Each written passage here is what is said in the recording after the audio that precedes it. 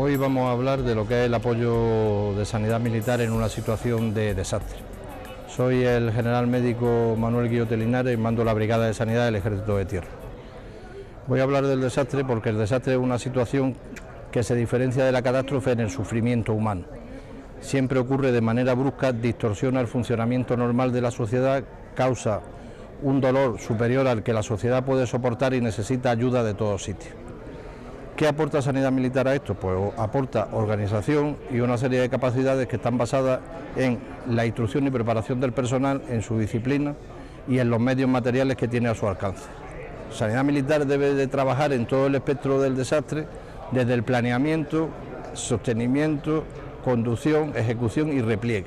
Tremendamente importante porque la sociedad tiene que recuperar su posibilidad de vivir y tiene que haber un paso gradual y sin y sin mucho sufrimiento, mucho decalaje entre la parte en que está actuando Sanidad Militar y la parte que, que es la sociedad civil la que vuelve a responsabilizarse de su situación. Cuando se va a una situación de desastre del tipo que sea, nos encontramos con una serie de similitudes, tanto sea un conflicto armado como sea un conflicto civil, que es la cantidad de politraumatizados y la cantidad de gente que necesita atención de urgencia real en el momento, que es en definitiva lo que es lo fundamental de nuestro trabajo. Nosotros no vamos a hacer grandes cirugías, vamos a salvar la vida de la gente. Y eso lo hacemos mm, empleando las técnicas que emplearíamos en guerra, es decir, técnicas salvadoras de la vida y técnicas de cirugía salvadora de la vida fundamentalmente destinadas a controlar la vía aérea y controlar la hemorragia sanguinante.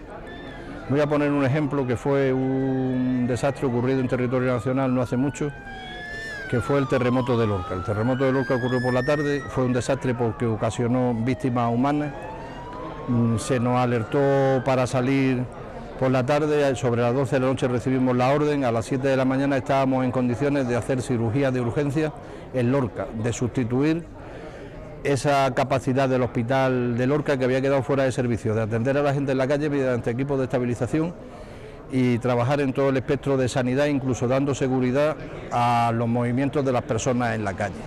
Se llegó a atender hasta un electrocutado y luego, pues bueno, pues tuvimos el reconocimiento del pueblo de Lorca que, que se volcó con, fundamentalmente con las Fuerzas Armadas, no solo con la unidad, sino con las Fuerzas Armadas después del trabajo realizado. Esto que he puesto como como una catástrofe o un desastre civil, en un desastre como es la guerra se actuaría igual, pero en todo el en todo el tiempo que durara el conflicto y en fuera de territorio nacional pues hemos actuado en el terremoto de Pakistán, en el terremoto de Turquía, en Mozambique cuando las inundaciones, eh, bueno, en cantidad de sitios donde fundamentalmente aportamos lo que he dicho, organización, disciplina y entrega. Nuestro trabajo fundamental y para lo que estamos es el apoyo sanitario a una fuerza en combate. Esto nos da un valor añadido tremendo porque somos capaces de paliar, si no resolver, sí paliar y dar esperanza y transmitir esperanza a la población en general. Y después de lo dicho, no es casual que estemos delante de este cuadro, el cual representa el paradigma del desastre causado por el hombre que es la guerra.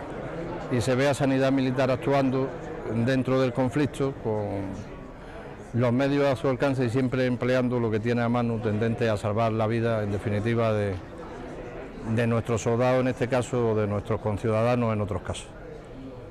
Espero haberle, como siempre, llevado a que tengan interés por el tema. Si quieren profundizar en él, que profundicen y espero seguir viéndolo en este blog en sucesivas entregas. Muchas gracias.